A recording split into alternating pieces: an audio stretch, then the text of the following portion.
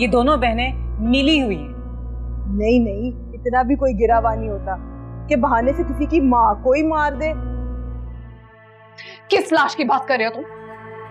वो लाश जो फांसी के फंदे पे लटक गई तुम्हारी मोहब्बत में या जिसने अपनी दुनिया लुटा दी तुम्हारे प्यार में या वो लाश जिसके लिए की दुनिया ही तुम थे? वैसे यू नो इतना अच्छा होना भी ठीक नहीं है। मैं बहुत समझाती हूँ उसे, मगर नहीं। एक दफ़ा जो उसके जहन में बैठ जाए, फिर उसे किए बगैर सांस नहीं लेती।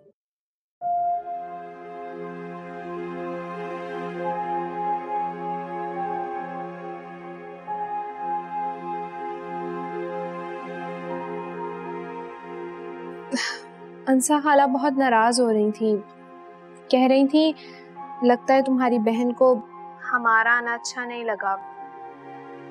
जरा सी देर के लिए आई और फिर चली गई। ये समझाओ, फ्लीहा। सपने इस दुनिया में बैठे नहीं रहे एक न एक दिन सपने चले जाने। जाने वालों को किसी की हमदर्दी की ज़रूरत नहीं होती। लेकिन जो ज़िंदा रह जाते ना, उन्हें हमदर्दी की ज़रूरत होती।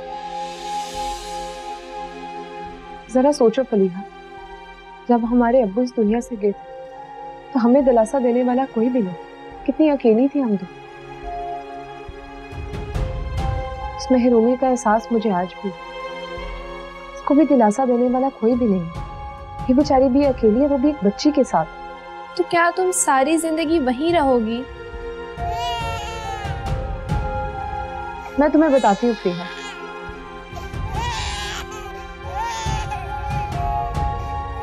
मैं मैं करती हूँ तुमसे बात। हेलो। बाय।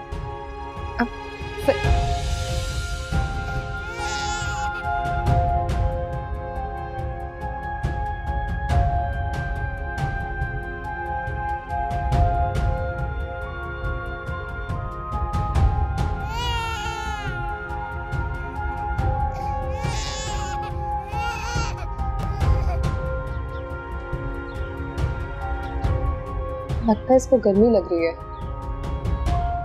पहले इतने औकात कहाँ के एसी लगवा सको मारिया प्लीज़ तुम ऐसा करो मेरे साथ मेरे घर चलो। वहाँ पे बस मैं और मेरी बहन ही होते हैं। नहीं नहीं। तुमने पहले ही बहुत कुछ किया है मेरी अम्मी के कफन दफन का ख़त्म का। काफ़ी है ये एहसान जो शायद कभी ना चुका सका। इसमें एहसान कैसे?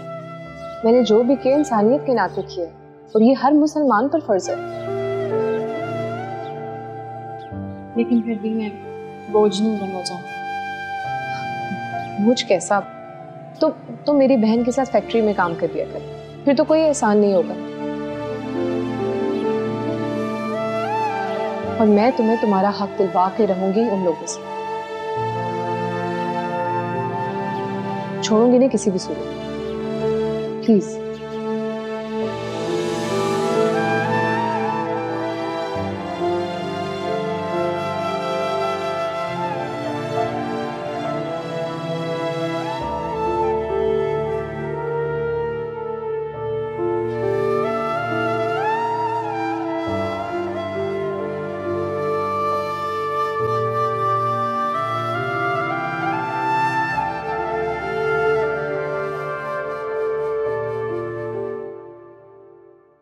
लिखवा ले मुझसे आप।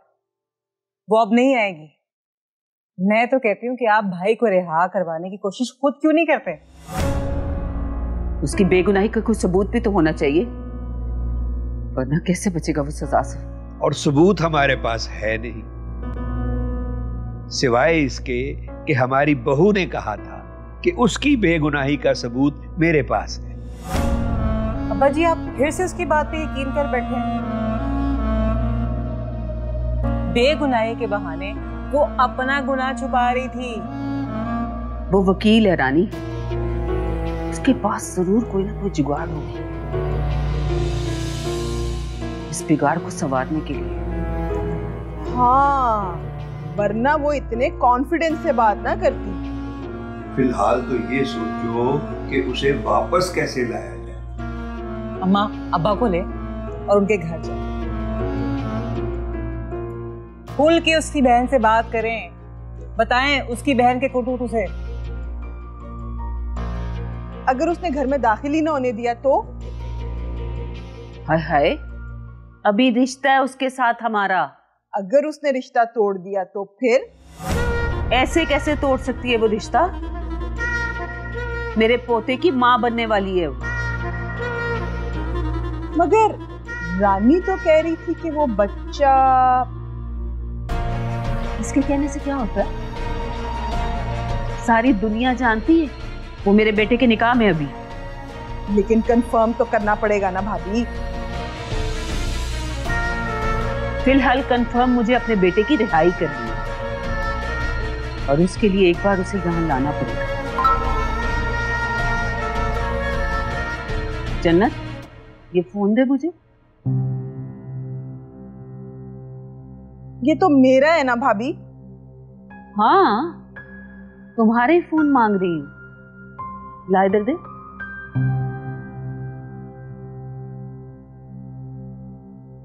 जब तक इस मसले को हल नहीं कर लेती ना ये फ़ोन मेरे पास रहेगा। तुम्हें पता है ना भाभी कभी कभी मेरे बेटे की कॉल आ जाती है मुझे। अच्छा।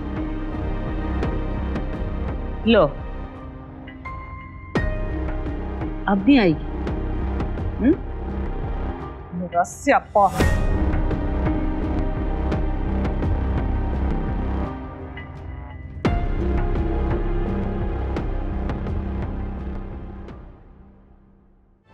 इसे साथ रखोगी जो तुम्हारे शोहर की एक्स वाइफ है? लेकिन वो अब तो उसका शोहर नहीं है ना? पर ये बेटी तो उसी की है ना? इससे क्या फ़र्क पड़ता? है वो ज़िंदगी के गिले शिकवे थे बेटा जो ज़िंदगी के साथ ही खत्म हो गए। ये गिला शिकवे उनकी ज़िंदगी में खत्म क्यों नहीं किए? तब गुस्से ने कुछ सोचने ही नहीं दिया। नफरत ही नफरत आ गई थी मेरे दिल में।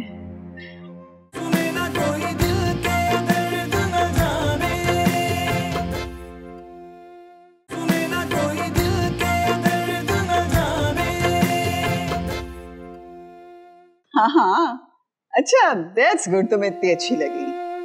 अच्छा अपना बहुत ख्याल रखना है। अल्लाह हाफिज अल्लाह हाफिज। सलाम शुक्र है तुम आ गई। अभी सुहेल के साथ तुम्हारी बात कर रही थी। वो भी कह रहा था कि तुम बिल्कुल खाला जैसी। भी जितनी उसके दिल में लोगों की हमदर्दी थी, उतनी तुम्हारे दिल में भी है। वो भी दुनिया जहान के दुखों को अपना ही दुख समझती थी, जैसे तुम समझ रही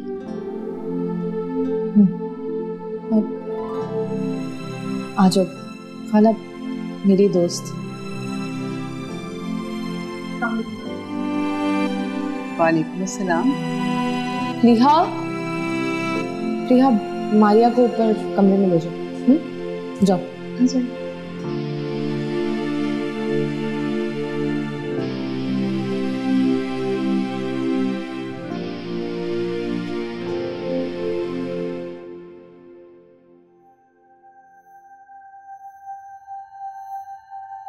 ये कौन है?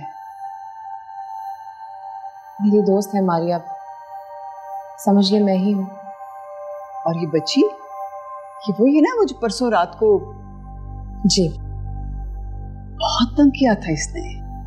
हाँ लेकिन अब उसकी माँ साथ आ गई है ना तो अब तंग नहीं करेगी। वैसे भी अब तो उसकी दो दो माए दो दो माए you मैं भी तो उसकी माँ ही लगी ना। तुम भी उसकी माँ। मैं मैं बिल्कुल नहीं समझी। और आई गेस लीहा ने आपको सब कुछ नहीं बताया।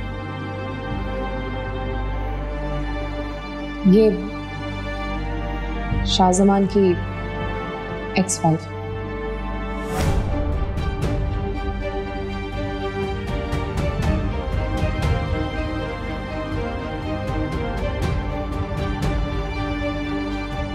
ऋषा तुम पागल तो नहीं हो गई? तुम इसे साथ रखोगी जो तुम्हारे शौहर की एक्स वाइफ है? लेकिन वो अब तो उसका शौहर नहीं है ना? पर ये बेटी तो उसी की है ना? खाला इससे क्या फ़र्क पड़ता है? फ़र्क पड़ता है। अगर वो यहाँ आया तो उसका दिल बच्ची की तरफ़ जाएगा। और फिर बच्ची की माँ की तरफ़ भी फिसलने में उसको देर नहीं लगेगी। वो इस घर में कभी नहीं आएगा। क्यों? फलीहा बता रही थी कि तुम भी उसके बच्चे की माँ बनने वाली हो। अपने बच्चे पे कभी उसका साया भी ना पड़ने दो पर वो बाप तो कहलाएगा ना। मैं अपने बच्चे को अपना नाम दूँगी अपनी पहचान दूँगी खाला।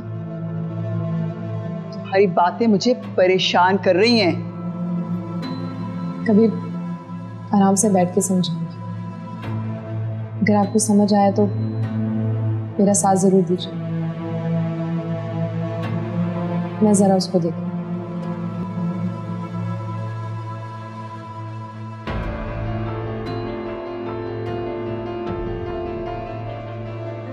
क्या हो रहा है? I I really can't comprehend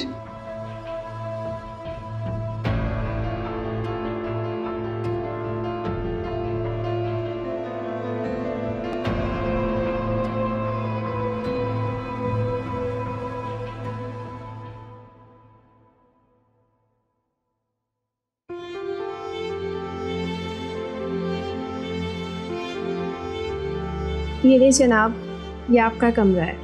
अब से यहीं रहेंगे आप। शुक्रिया।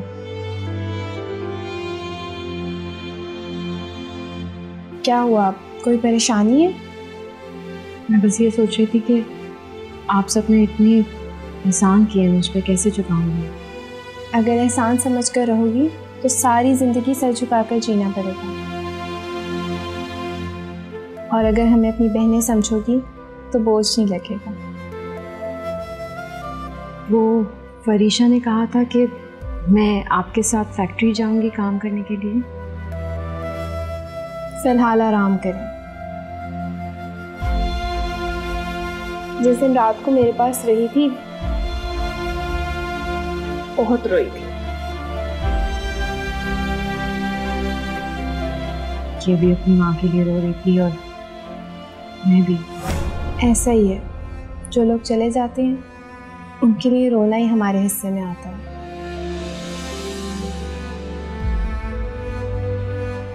लेकिन अब रोना नहीं है, ना इसने, ना आपने।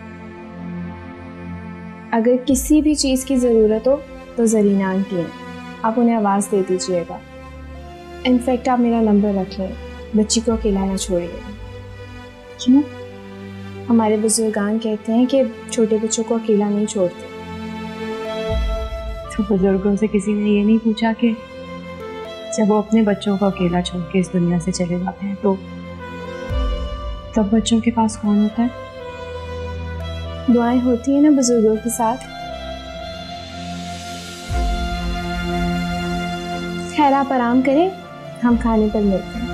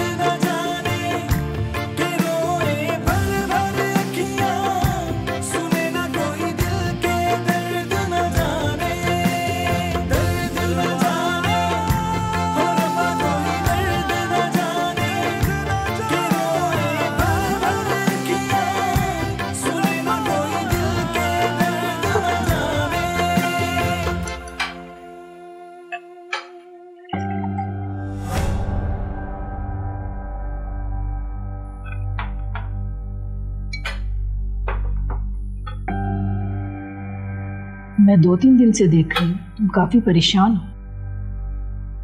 आई आई तो माँ से छुपा रहे हो? बस मोम वो रिया का सोचता हूँ। फिर आपकी सोच भी आती। अकेली होती हैं आप घर पर। रिया के आ जाने से आपका दिल तो लगा रहेगा। मैं सोच रही थी कि वो सुतीली है। जैसे मैंने उसे कबूल नहीं किया। उसके पास भी हक है कि वो मुझे कबूल ना करे। उसके दिल में रिश्तों की कदर है मॉम।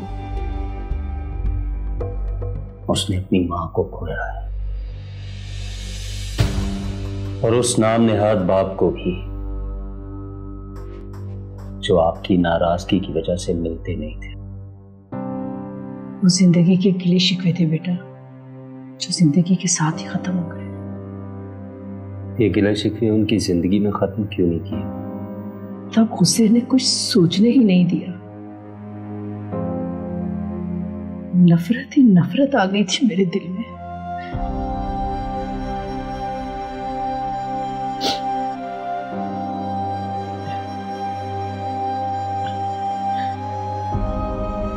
बस एक मान था, जो उसने तोड़ा। अब सोचती हैं तो दुख होता है।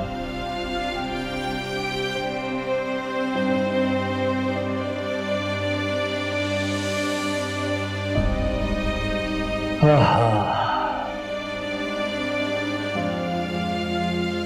ज़िंदगी है? जब ज़िंदा होती है तो मान के नाम पे गुस्सा और नफरत हमारे दिल में आ जाती है।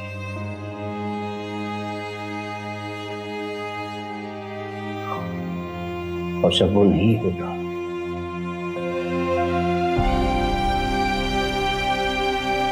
तो वही दुख। आँसू बनकर हमारी आँखों से बहने लगता।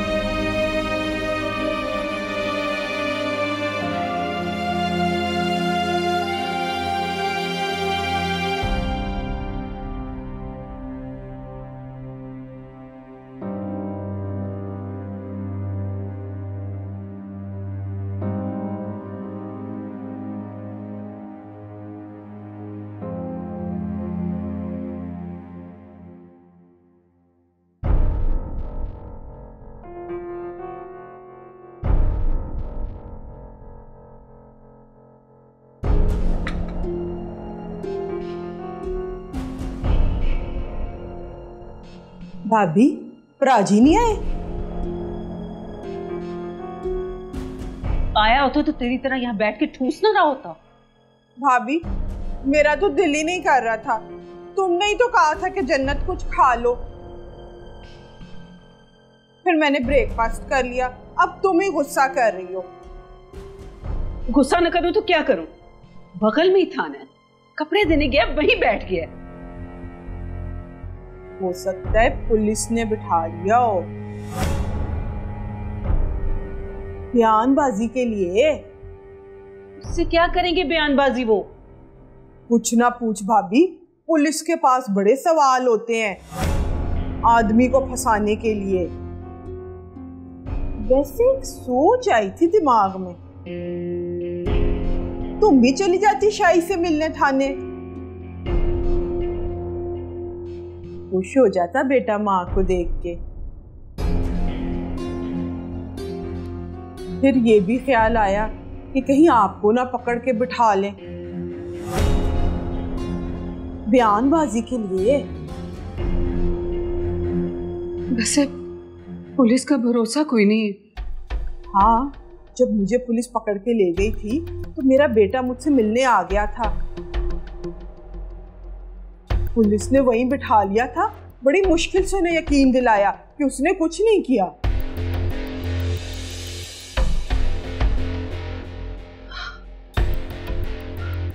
माँ नहीं आई ना वो?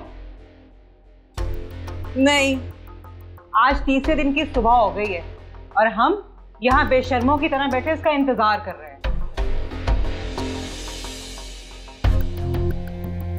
इसी वक्त तो मुझे ख्याल आता है कि जैसे हमने उसे कमाई करने के लिए बाहर भेजा हो।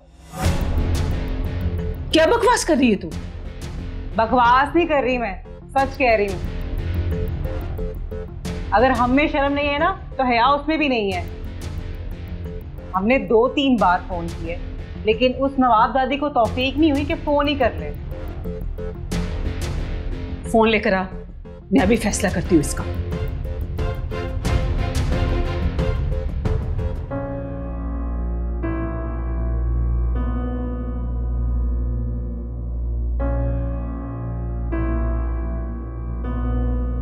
ओए बहुत गर्मी है आज।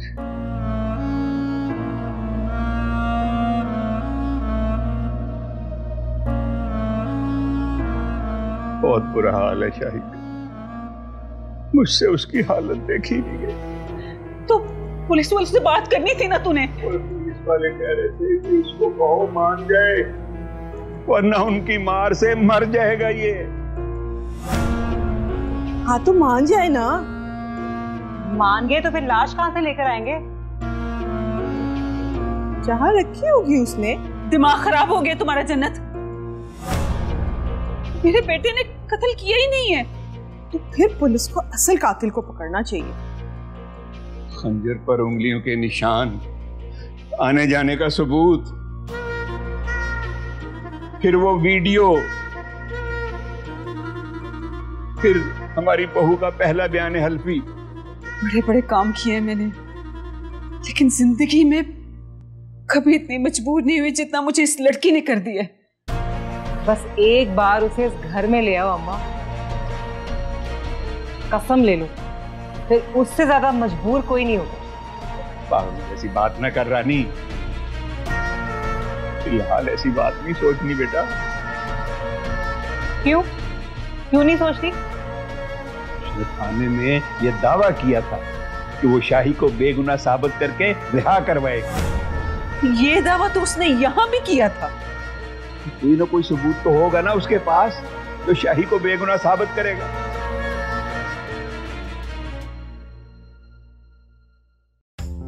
मुझे फरीशा की एक बात याद आ गई कौन सी बात?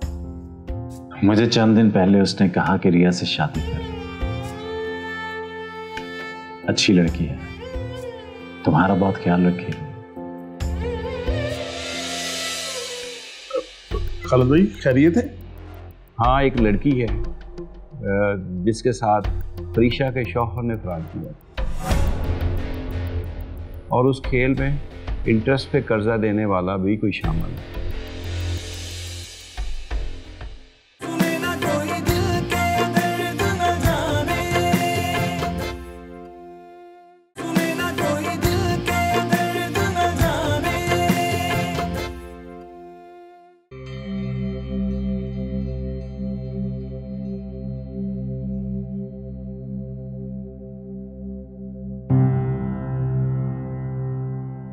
तुम्हारा कहा पूरा हो जाएगा। तुम मेरी बेवा बनकर ज़िंदगी गुजारोगी। बीवी बनकर नहीं।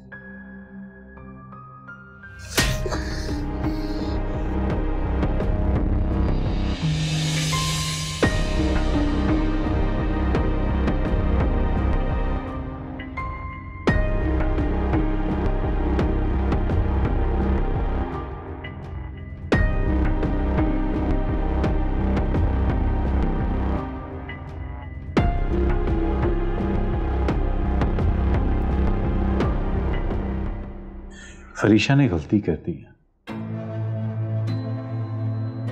जो उस लड़की को अपने घर ले गई। क्यों? उसे घर क्यों ले गई? वो सोचती है कि अगर उसने उस वक्त वो सब कुछ पढ़ लिया होता तो वो उन्हें उनका हक दिला देती। हक तो वो अभी भी दिलवा सकती है बेटी है उसकी गोद में उसकी। मगर इसके लिए वो उसे घर क्यों ले गई? जानती भी है कि वो उसके शोहर की बीवी रह चुकी है। और उसी की बच्ची की माँ भी है। और वैसे भी अगर शाहजमान वापस आ गया तो बीवी की मोहब्बत तो शायद उससे अपनी तरफ़ ना खींच सके लेकिन औलाद की मोहब्बत बाप को दूर नहीं रहने देती। मेरा नहीं ख्याल कि फरीशा अब शाहजमान के साथ रही। फरीशा अभी शाहजमान के बच्चे की माँ बनने वाली है। इसलिए शाहजमान फरीशा को तलाक नहीं देगा। वैसे तुम्हें ये सोच नहीं आती कि एक ही घर की छत के नीचे दो बीवियाँ एक साबका और एक मौजूदा? मैंने कोई जोक तो नहीं सुनाया जो हँसी आ गई तुम्हें? मुझे फरीशा की एक बात याद आ गई। वो हर वक्त कुछ ना कुछ सोचती रहती है। कौन सी बात? मुझे चंद दिन पहले उसने कहा कि रिया से शादी कर लो। अच्छी लड़की है। तुम्हारा बहुत ख्याल रखेगी पूछोगी नहीं? मैंने इससे क्या कहा? नहीं। क्यों? तुम्हें कुछ और चाहिए तो बताओ वरना मैं तो सोने जा रही हूँ। नहीं बस कुछ नहीं चाहिए।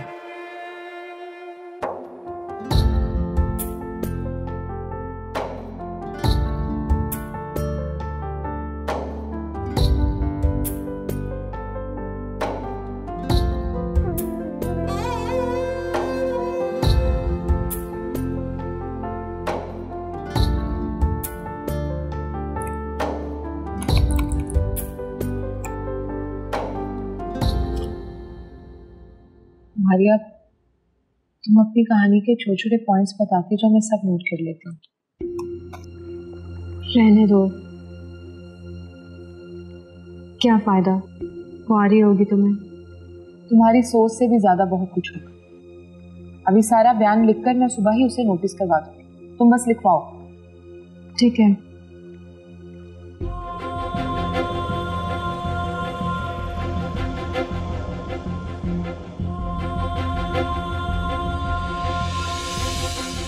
मेरी शादी की वजह से परेशान है।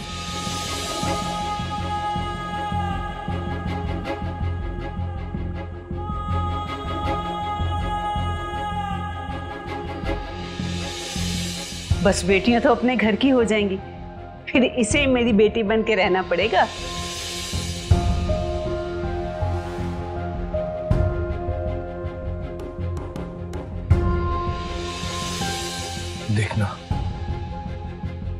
मैं तुम्हारे सारे अरमान पूरे करूँगा। खुशियों से भर दूँगा तुम्हारा दामन। देखना तो।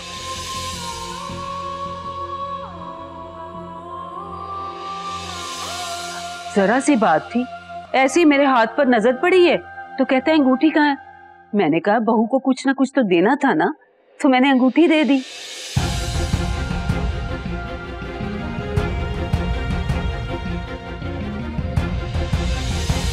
जनाब ने बदमाशों से कर्जा लिया था जो सारे का सारा डबो दिया।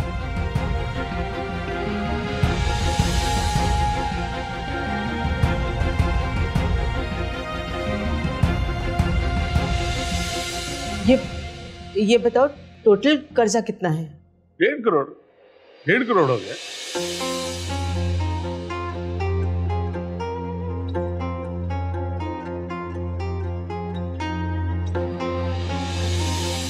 मारिया हम हम यहाँ रहेंगे?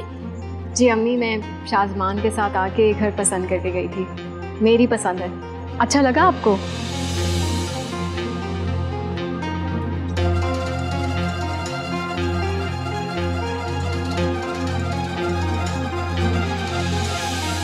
लेकिन शादी के बाद रिस्क बीवी की किस्मत से। है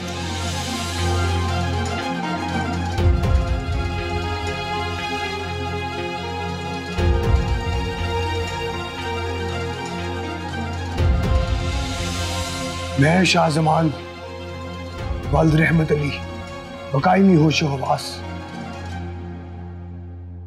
मारिया वल्द अनायत को तलाक देता हूँ।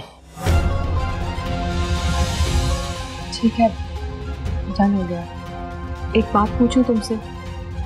हाँ पूछो।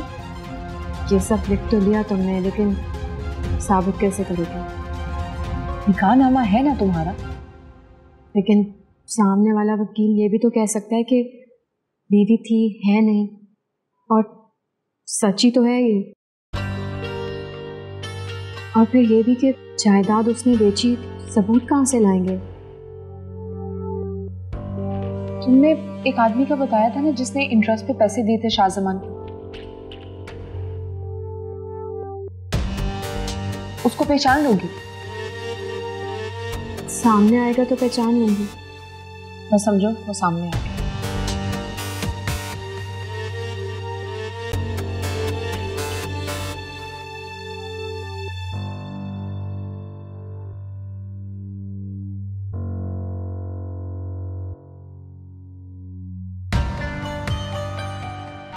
अलैक्म खालिद भाई। तुम यहाँ क्या कर रहे हो? खालिद भाई वो एक बात मेरे जहन में आई थी। मैंने सोचा आपसे कर लूँ। बोलो बोलो। वो फ्रिशा बेटी के ससुराल से फ़ोन आया था मुझे। मैं भी ने समझाया था और आपने भी शादमान को बुला के समझा दिया था। मतलब पर आओ। खालिद भाई मैं कुछ नहीं कह रहा। वो फ्रिशा बेटी के ससुराल से रिक्वेस्ट आई थी वो बता रहा हूँ आपको।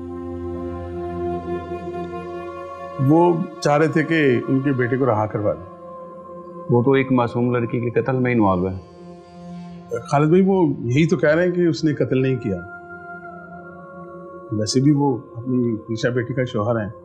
अगर उसका बाप ज़िंदा होता तो अपने दामाद को ज़रूर बचाता। ये मैं नहीं कह रहा। ईशा बेटी की सास ने कहा था। जब तक हमारी बेटी नहीं कहेगी, हम कुछ नहीं कर सकते।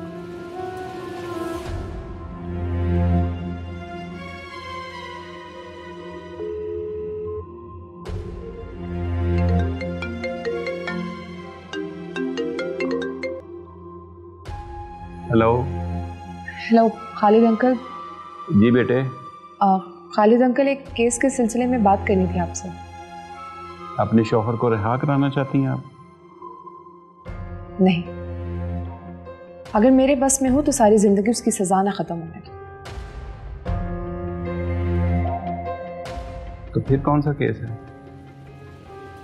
वो मैंने आपको मारिया का बताया था ना? अच्छा अच्छा अच्छा। वो एक्स वाइफ जो है आपके हस्बैंड की।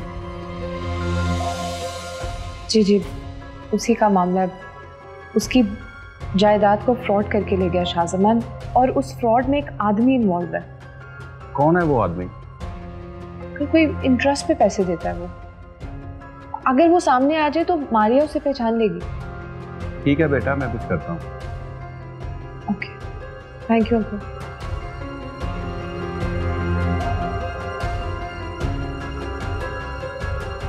करो मारिया बहुत जल्द पता चल जाएगा।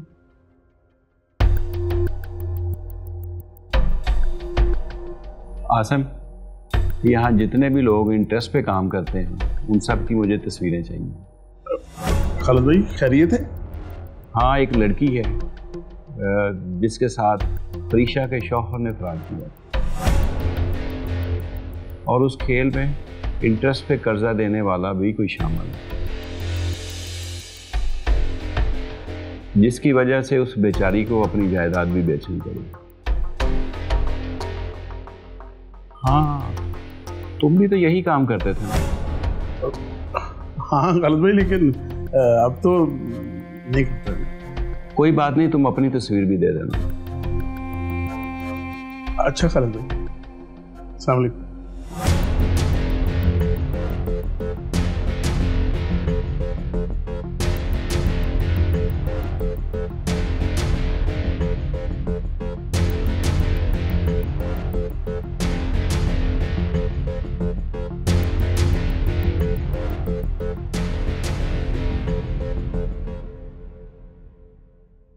परीशा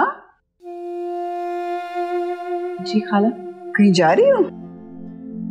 जी, एक फैसला लेने जा रही हूँ। कहाँ? अपने ससुराल। ऑन मेरा ख्याल है तुम अपनी बहन को फ़ोन करो, ऑफ़िस से आए और तुम्हारे साथ चले।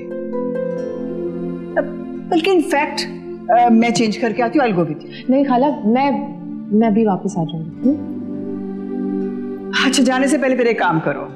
सोहेल कल से मेरे पीछे पड़ा हुआ है कि तुम्हारे साथ एक सेल्फी उतार के उसको भेजूं। तुम्हारी शक्ल आप ही से बहुत मिलती है ना? तो खाला की याद आती होगी। चलो जी लेट्स टेक अ पिक इसका फ़िल्टर लगा दो।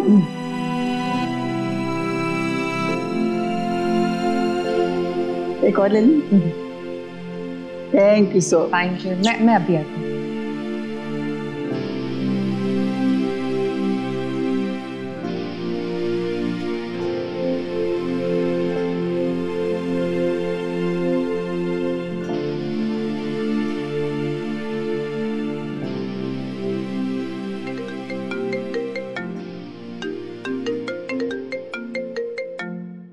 लगता है खालिद भाई से बात हो गई है इसकी। जी आसम साहब क्या खुशखबरी है जनाब? खुशखबरी खाको नहीं है। मुझे तो लगता है कि ज़िंदगी में खुशियाँ थी वो भी गई। हुआ क्या है? तुम्हारे बेटे की सिफारिश करते करते खुद फंस गया हूँ। वो बताओ तो सही क्या हो गया वो तुम्हारी पहली बहू थी ना? हाँ हाँ।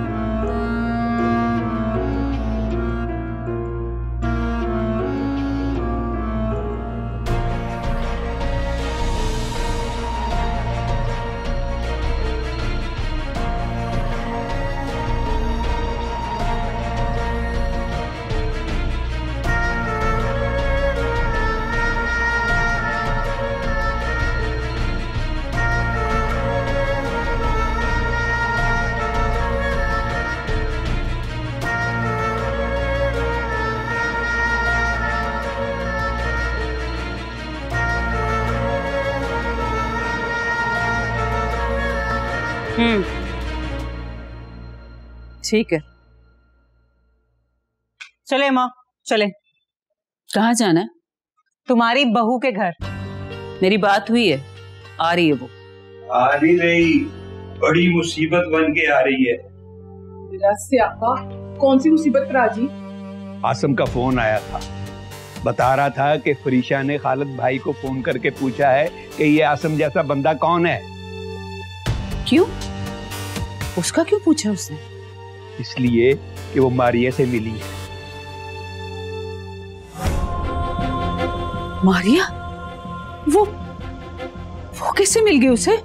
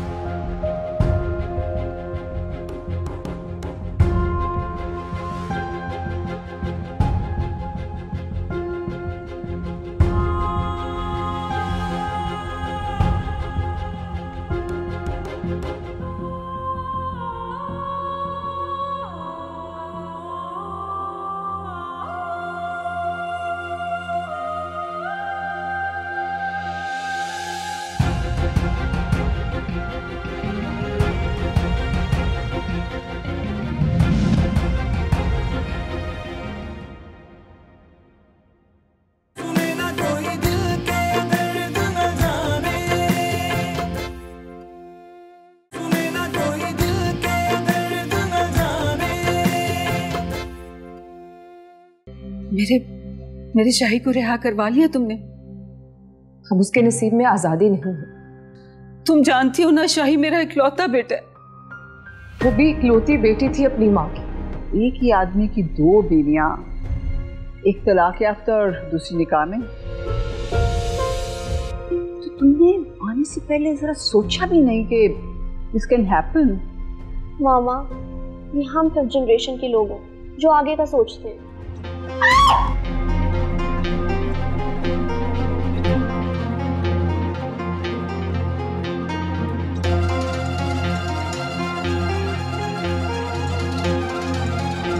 आई मीन अब तो सब क्लियर हो चुका है।